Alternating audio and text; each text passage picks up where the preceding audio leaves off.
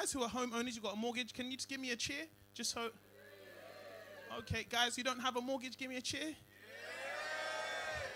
Don't be cheering so loud, you know, bruv. Because these interest rates. You see, my man, with the budget, us up with houses, we watch this seriously, you know?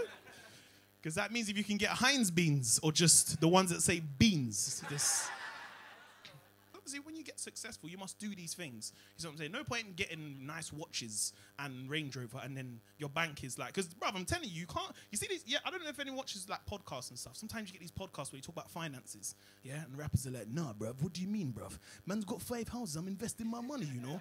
I'm telling you, the accountants are watching. It's like, mm, no, I don't think that's true. so these are the things I had to make sure I'd done, yeah.